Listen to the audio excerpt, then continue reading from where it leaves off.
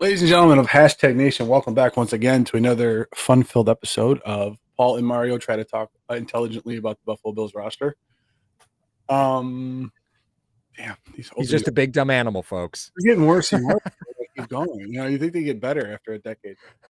Before we get into that, ladies and gentlemen, all the socials will be in the link tree uh, provided. At, you know, you can go to our uh, Twitter, Instagram, TikTok, Patreon, uh, iTunes and Spotify. Everything will be all uploaded onto there as uh, at the conclusion of these episodes. So you can go check it out over there.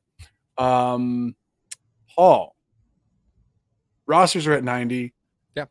We, will talk about we'll talk about camp as a whole with people making you know reactions to this and that. It's, oh my God, Dawson Knox got a touchdown in, in practice. Great. Right. Awesome. Yeah. Exactly. Uh, don't care.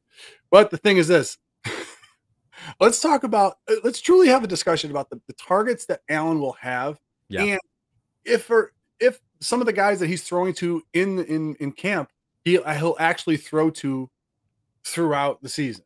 Uh, mm-hmm. Uh, it's like a cut versus keep uh, scenario here. Yeah, so, let's do it. Love it. Let's uh, go. So obviously there there are guys that are locks that we always talk about. You got Diggs, yep. Davis, um, McKenzie. I don't think McKenzie's a lock, man. Everybody talks about McKenzie as a lock, and I just don't. I don't believe that.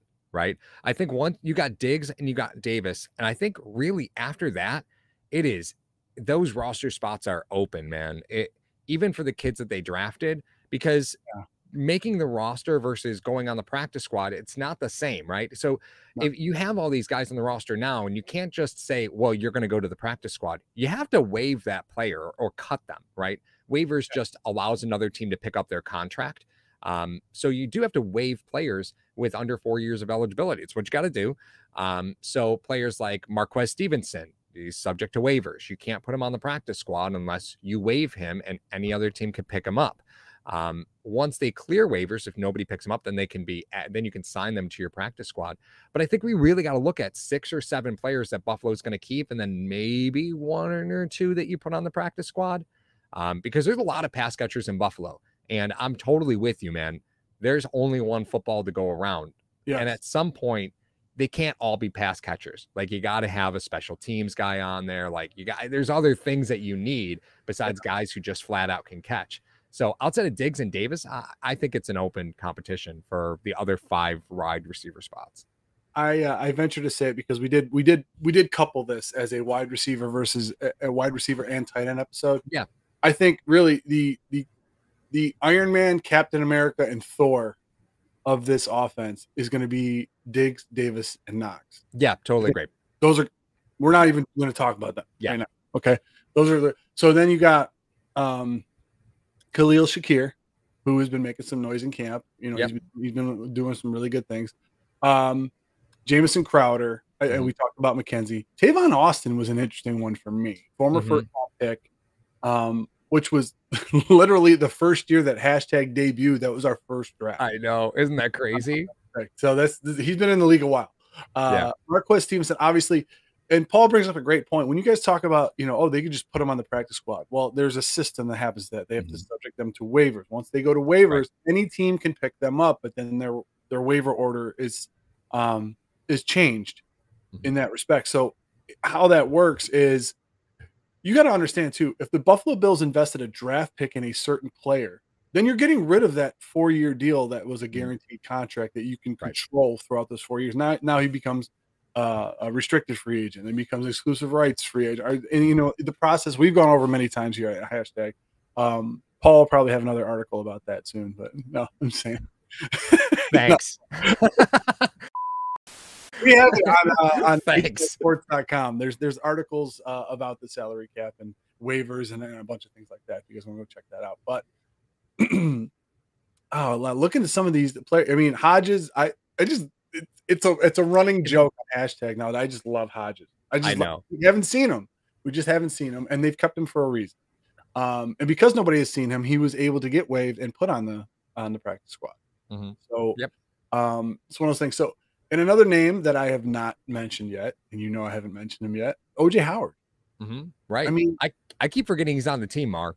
I just I got I, signed the same day that Von Miller did, so everyone forgot about him. You know yeah. what I mean? It's like probably one of the most athletic tight ends coming out of that draft. But you, you, see what the Bills are doing, which is very interesting, is that you got Tavon Austin, you got OJ Howard, two former first round picks. Mm-hmm. What, Paul, in your estimation, what message is are, are the Bills saying to are they are they are they signing these guys to say, hey, listen, you know, I mean, you know, to try to motivate the guys that were drafted after them or free agents, or is do they still see something in these guys that maybe another system or another player, another team did not see in them? You know, Mar, that's an interesting question, right? Because before Buffalo would have to do this in different ways, like signing former first round players. They were really getting like true reclamation projects. Yeah. And I think OJ Howard kind of signals the fact that like the caliber of player that's willing to come here on a one year deal is increasing, right? Right now, mind you, between Tavon Austin and OJ Howard, you're probably you're spending what two million dollars a piece if you combine the two of them. Yeah. Right. Like you're spending no money on those players. Right. So it yeah, I think that the caliber of player is increasing um, when they're coming here on the one year deals, which is what winning does, right? It makes them makes those players cheaper and makes them more available. It doesn't seem fair, but the fact is it, it is. And Buffalo's been doing this for a while.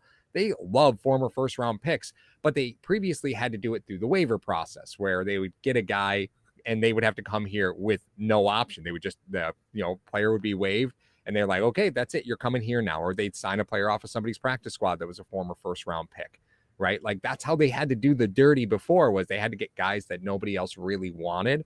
Uh, now players are coming here out of choice. I think that's a I think it's a big difference, but it does make this exercise of cut or keep even harder, right? Yeah. Because there's some very good players that the Bills just simply will not have room for. And we should probably start running through like the roster of who you're going to cut and keep. Right. Yeah. So you and I agree. Let's just let's start with the tight ends first because that's probably easiest. Dawson Knox is a lock.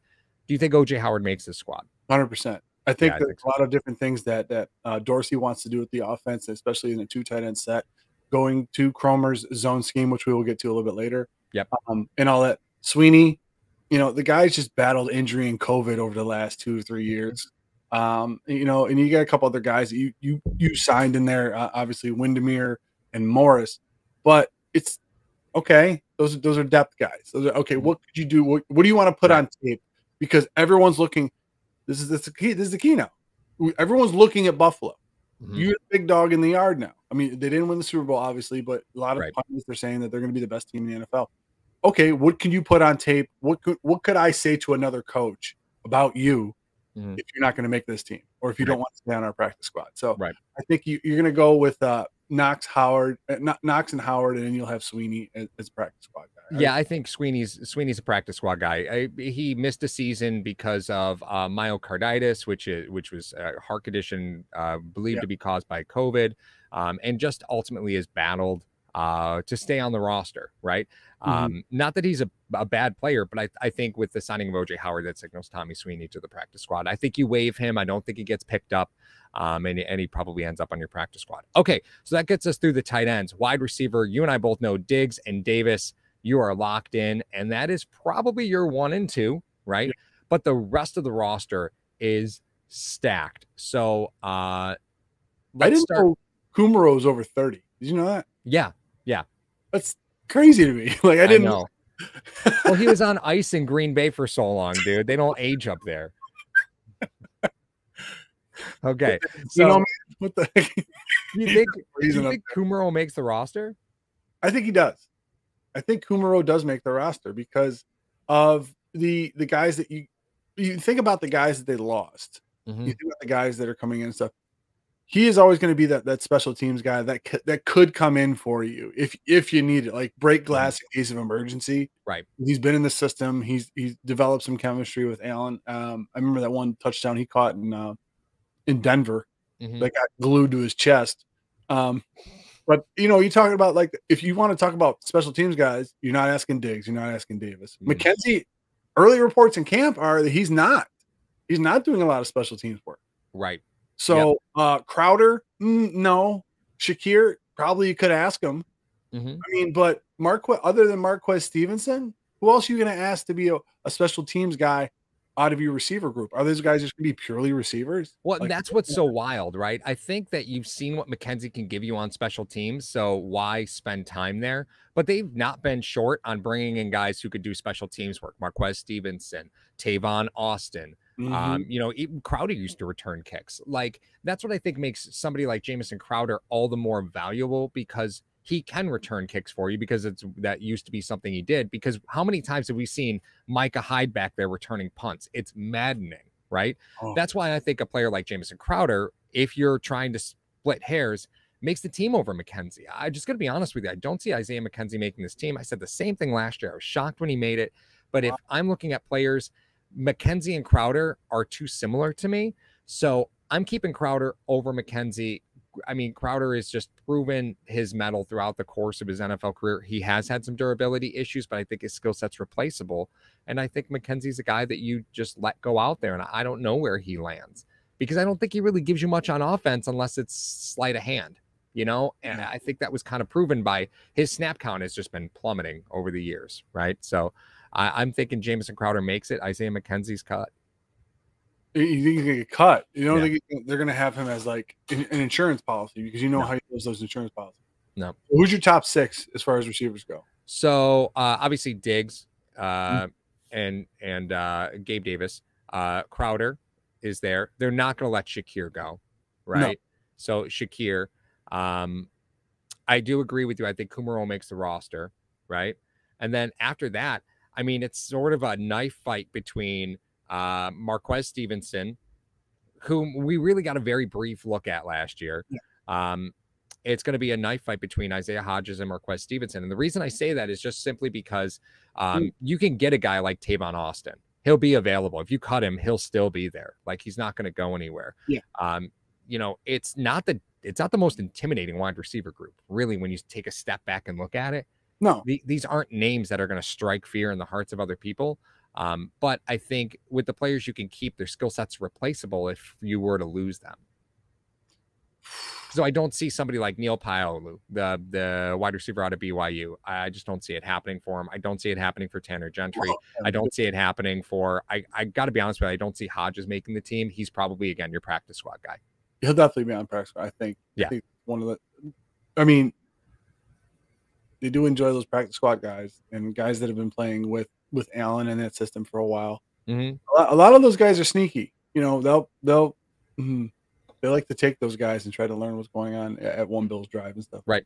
I don't know, man. I got I got Stevenson, I got Stevenson and Hodgins on the practice squad, and mm-hmm. I got top six. I got I got Diggs, Davis, and Crowder, mm-hmm. and then I got Kumerow, Shakir, and McKenzie. I, yeah. I, I haven't because that's very likely, Mark. To be honest with you, that's a very likely group. Well, when they had Beasley they still had McKenzie. I think you mm-hmm. always have to have that slot slot guy backup mm-hmm. just in case something happens. Right. You always got to have that insurance policy. And I think being nice to have that insurance policy and the fact that McKenzie was willing to come back on a on a cheaper deal. Yeah. I mean, he, he does. To be, fair, and to be fair, Mar, when they signed Emmanuel Sanders, we thought he was going to be working out of the slot because that's where we saw him in New Orleans. Just because Jamison Crowder played primarily slot with the Giants, he yeah. played outside in Washington, you know, so he can play anywhere. Maybe we're maybe may, maybe this is a Paul problem. Maybe I'm pigeonholing Crowder to the slot.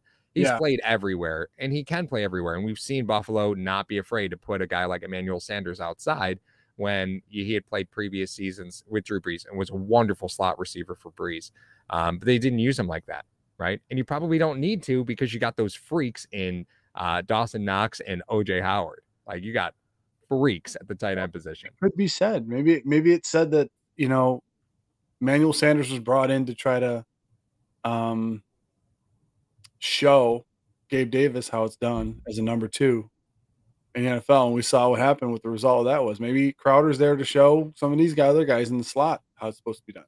Right. I mean, if you think about the slot receivers over the years, you're talking about Welker, you're talking about Edelman, you're talking about Beasley, you're talking about Crowder, you talk about a lot of Austin was in that role for a while. Yeah. I mean, right. so it's great to it's great to have what what the Buffalo Bills have right now because of the success that they've enjoyed. They have mm-hmm. options, mm-hmm. and I think I, I you know I don't think you're going wrong with either of our position groups. I don't right. think either of those are wrong, but I am uh, I am interested in seeing. You got to know this. It depends on their investment in OJ Howard. If they think OJ Howard is one of those guys, putting him in the slot Good luck. many wide receivers then. So they might cut even more than we think. Maybe ends up panning out to be the athlete that we thought he was coming out of college. Mhm. You may not need a any and you don't even not need that many wide receivers. Right. Yeah, Yeah. that's a great point. Now, if you've got roster predictions for the pass catchers for the Buffalo Bills wide receiver tight end, drop those in the comments section. Um, if you want to make a case for Tanner Gentry, I challenge you to make a case for Tanner Gentry. Come at me, bro. Come at me. I, I'm all about that smoke. You want to give me Tanner Gentry smoke? I'm all about that Tanner Gentry smoke. Let's I go. love the Tanner Gentry smoke. So amazing.